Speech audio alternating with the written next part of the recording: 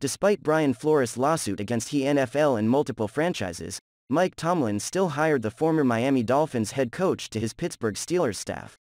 While it was a shocker for some, Tomlin highlighted that he owed that to Flores.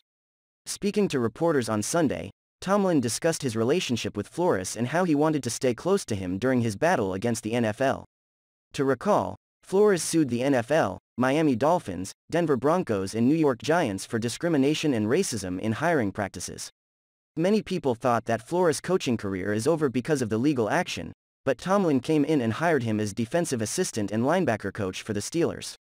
I wanted to stay close to Brian when his legal issues started. I just didn't want him to feel like he was on an island. From a coaching fraternity standpoint, I owed him that. I was in position to provide that, Tomlin said on hiring Flores, per Brooke Pryor of ESPN.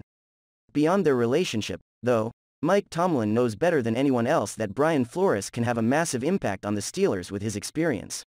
After all, he now has a pro head coach caliber man taking care of the defense and the linebackers. He also sees his new assistant making significant impact on other areas. Senior defensive assistant and linebacker coach is his title, but there's so many ways that he's going to help us and help me.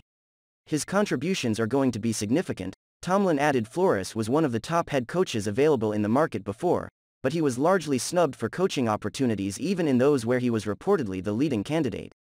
It led him to sue the NFL, as well as the teams and individuals involved. It remains to be seen how his lawsuit will pan out, but it is certainly a story that a lot of people are keeping an eye on. As for how the Steelers will be affected by the Flores hiring, Tomlin emphasized that he sees their move as something that would have a positive impact in the league and the community furthermore, he shared what seems to be an approval from team owner Art Rooney too and family, noting that it has always been part of their mission to make such difference. To have an opportunity to impact the game in a positive way, to impact society in a positive way. It's continually an honor to be a part of something that the Rooney family started and led for a long time before my existence here, the 50-year-old coach added.